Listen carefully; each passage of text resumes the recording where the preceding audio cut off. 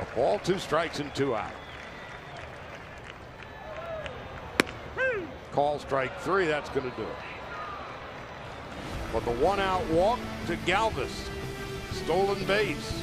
RBI single for Domonic Brown. Last licks for the Dodgers coming up.